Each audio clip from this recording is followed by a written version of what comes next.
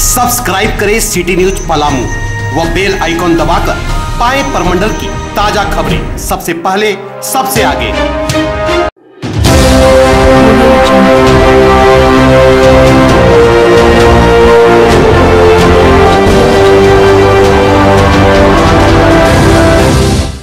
क्षेत्र में विकास की बातें करने वाली सरकार के नुमाइंदों को आईना दिखला रही है ज़िले के छतरपुर अनुमंडल के सरहदी शाहपुर मुख्यपथ और वहाँ की ग्रामीण जनता राहगीरों का बरसात के मौसम में सड़क पर चलना दूभर है।